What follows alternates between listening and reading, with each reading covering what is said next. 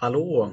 Som ni märker så pratar jag en del i den här lektionen om lagen.nu som ett eh, sätt att hitta eh, olika typer av lagregler eh, och också att hitta rättspraxis och förarbeten.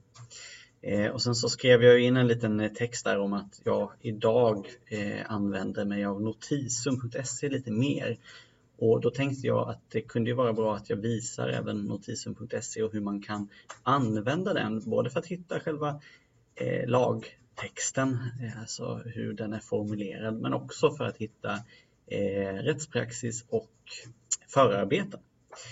Och det enklaste man gör när man ska hitta en lag, det är att man använder en sökmotor, till exempel Google. Och sen så ska vi söka på brottsbalk. Tar vi. Och då kommer ni få upp lite olika. Eh, man kan ju välja riksdagen.se här och då kommer man ju direkt till Svensk författningssamling. Eh, det kan man göra. Eh, det har sina fördelar. Men jag tycker det är lättare att få materialet samlat, alltså både rättspraxis och förarbeten och lagtexten på ett och samma ställe på Notisum. Så därför väljer jag den här. Och då får man, kommer man till en, en första sida som, som visar eh, Eh, lagens lydelse, alltså hur den är formulerad. Eh, och om man trycker på Visa dölj innehållsförteckning så får ni upp kapitelindelningen. Och eh, ni ser att det är en oerhört omfattande lag det här. Eh, och alla delar kommer givetvis inte beröras här i den här kursen, men en del som faktiskt berörs det är ju det här med eh, om brott mot liv och hälsa. Eh, tredje kapitlet. Så det kan man trycka direkt där så kommer man till tredje kapitlet. Eh, och eh, vi pratar ju mer i en separat lektion om just den här typen av brottslighet. Eh, bland annat om första paragrafen som alltså handlar om eh, mord, som ni ser här. Och då är det så här, då kan man vilja veta lite mer, som sagt var. Eh, lagen är ju en form rättskälla som vi använder när vi löser juridiska problem. Så om vi har ett, ett, en, ett scenario som har inträffat i verkligheten och vi vill jämföra den, det här som har hänt med lagen för att se om vilket typ av brott det skulle kunna vara. Exempelvis vi har en situation där en, en människa har berövat en annan människa livet. Eh, och då vill vi se om det här är mord eller om det eventuellt kan vara något annat brott som har begåtts. Och då går vi ju till lagen och så, så, läser vi helt enkelt första paragrafen. Den som berövar annan livet döms för mord till fängelse på viss tid, lägst 10 år, högst 18 år eller om omständigheterna är försvårande på livstid. Så att ja, då kan vi direkt konstatera att det här skulle kunna röra sig om mord eftersom det är en person som har berövat en annan person livet. Vi kommer att prata mer om det i en separat lektion om att det kan vara andra typer av brott också. Men vi stannar vid den här eh, paragrafen och så tittar vi då på hur får vi fram mer information? Hur får vi fram eh, rättspraxis som är kopplat till den här, eh, det här lagrummet? För att ge oss vägledning i om det här som vi tittar på är mord eller om det är någonting annat kanske. Eh, och vi ska också titta på hur ser jag eh, förarbetena, hur hittar förarbetena till just den här paragrafen? Eh, för att förarbetena ska också ge oss vägledning i, av, i liksom hur, hur är tanken att den här paragrafen ska användas. Och Det kan också vara bra, som ni ser här, eh, den här paragrafen har ett eget SFS-nummer, 2014 Eh, 274 och det betyder alltså att den är ändrad 2014. Tidigare hade den här paragrafen en annan lydelse, en annan innebörd. Och det kan ju vara intressant för oss att veta vilken ändring har gjorts utav lagen för att också förstå lite lagstiftnings alltså utvecklingen utav lagstiftningen. Hur såg det ut innan? Och, och kanske för, få förståelse för, för, varför man har förändrat lagstiftningen på något sätt. Och det kan vi då göra genom eh, eh, förarbetena. Med det sagt så ska jag nu visa hur ni hittar eh, sånt här i Notisum. Då ser ni längst uppe här igen så finns det en ehm, eh, en ikon man kan trycka på som heter Visa dölj detaljer. Då klickar vi på den. Då kommer vi få fram, sen klickar vi igen på tredje kapitlet här. Då ser ni första paragrafen och sen kommer det massa detaljer här under. Och vad är det då vi kan se här? Jo, vi kan se eh, den är ändrad genom SFS 2014 274, precis som vi såg här. Och vi börjar här eh, genom att klicka på den länken SFS 2014 274. Och då kommer vi till en sida som listar alla ändringar som har gjorts av den här eh, av, av hela brottsbalken. Men vi kommer direkt till den här 2014 274. Och vi kan se här eh, ändring. Vad är det som har ändrats? Jo, det är tredje kapitlets första paragrafen. När gjordes detta? Har vi datum där. Och förarbetena då? Ja, det finns olika typer av förarbeten. Den, det mest betydelsefulla förarbetet för oss att titta på det är propositionen. Propositionen som är det sista steget i förarbetena där man tidigare har olika typer av betänkande och eh, olika typer av utskottsuttalanden eh, och sådana saker. Men propositionen är på något sätt sammanfattningen utav det som sedan lämnas till riksdagen för omröstning. Så det är framförallt den som vi tittar på. Man kan titta på de andra sakerna också. Det skiljer sig åt lite vilka utskott som har uttalat sig och, och sådär. Eh, tyvärr så kan man inte klicka här på på propositionen som ni ser, den är inte länkad direkt i. Utan vad man får göra det är att man får kopiera det här. Eh, och öppnar vi en ny flik. Och sen så i Google så klistrar vi in.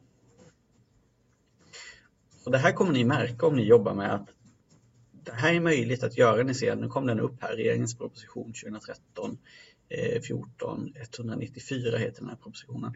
Eh, och det kommer ni märka att det kan man göra på relativt moderna propositioner på äldre propositioner. Jag vet inte exakt när det här började men ibland så försöker jag hitta propositioner från 60-talet och det kan vara svårt att hitta. Då får man hitta dem i, på ett bibliotek. Då finns de i, i, i fysisk form, inte i digital form. Det kan uppfattas lite märkligt möjligtvis. Men så är det. I det här fallet så finns den i digital form och vi klickar på länken här. Eh, så ska vi se om mitt internet vill hänga med i svängarna. Ehm. Mm. Verkar ju inte jättelysande kan jag inte säga. Så, då kommer vi till eh, Sveriges riksdags eh, hemsida och eh, just den delen av Sveriges riksdags hemsida som handlar om propositioner och skrivelser och specifikt den som handlar om just den här propositionen.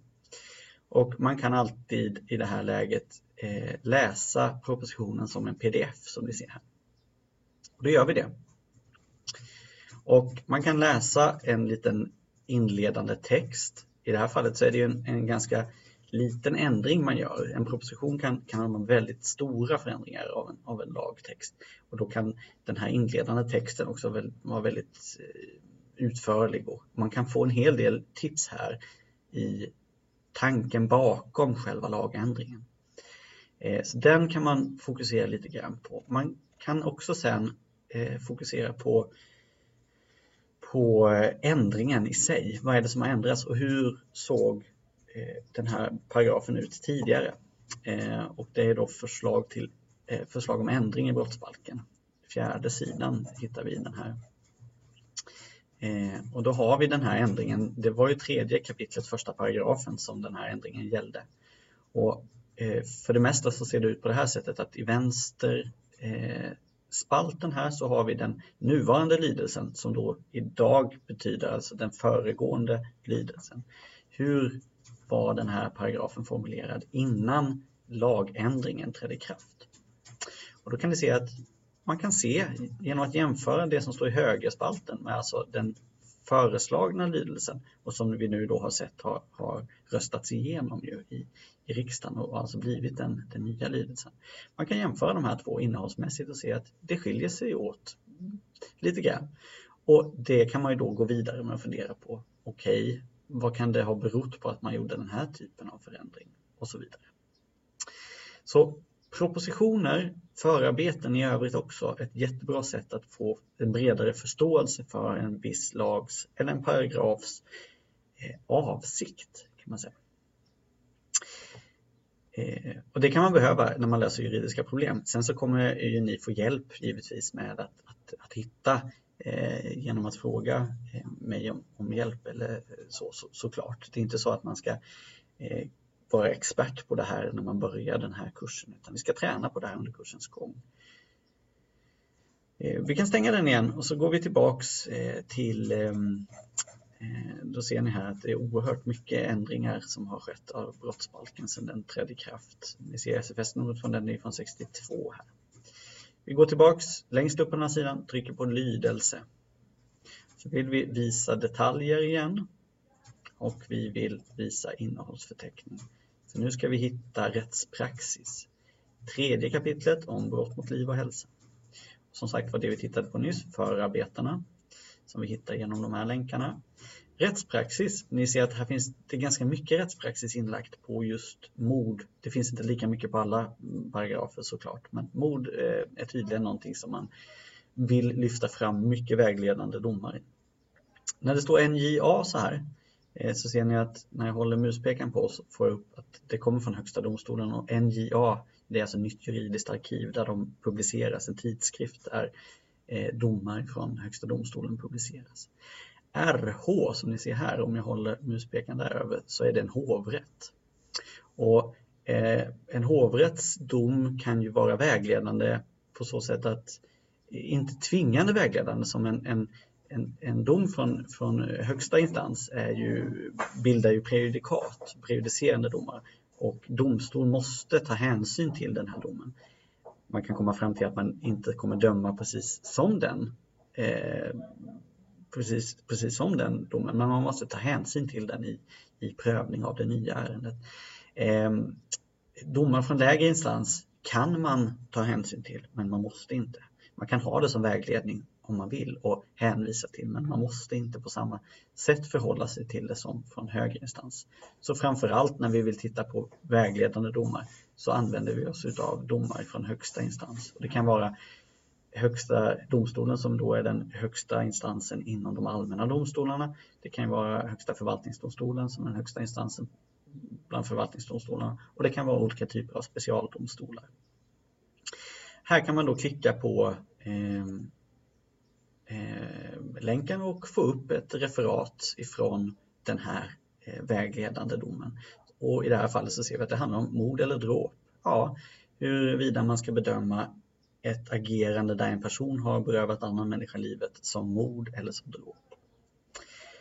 Det här är lite invecklat och det är jag fullt medveten om och kom gärna och ställ frågor på det här och vi, vi jobbar ju med det här tillsammans såklart.